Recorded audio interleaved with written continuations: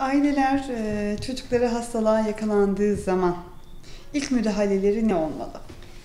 Çünkü bir telaş Yani, içerisinde eee, oluyor ebeveynler. Eğer burun tıkanıklığı gibi soğuk algınlığıyla bir e, karşılaştılarsa en önemlisi burunları temizlemek, bol sıvı alımını sağlamak, ateşini kontrol etmek, kıyafet seçimini ona göre yapmak, beslenmesine dikkat etmek.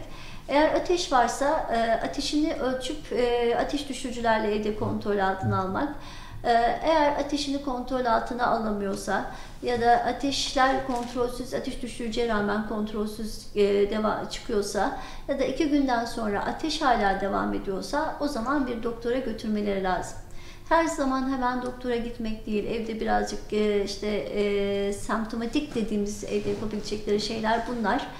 Bir, bir bakım yaptıktan sonra baktılar kontrol altına alamıyorlar ya da hastalık ilerliyor o zaman bir doktora muhakkak başvurmaları gerekiyor. Peki hasta olmamaları için ne yapacaklar?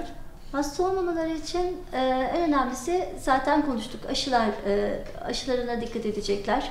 Düzenli beslenme, Hijyen kuralları. kuralları, onlara dikkat edecekler.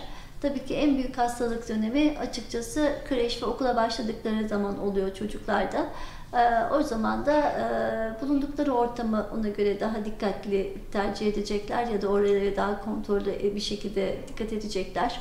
Beslenmelerine dediğim gibi dikkat edecekler. Ee, başka da yapabilecekleri şu an bir şey yok.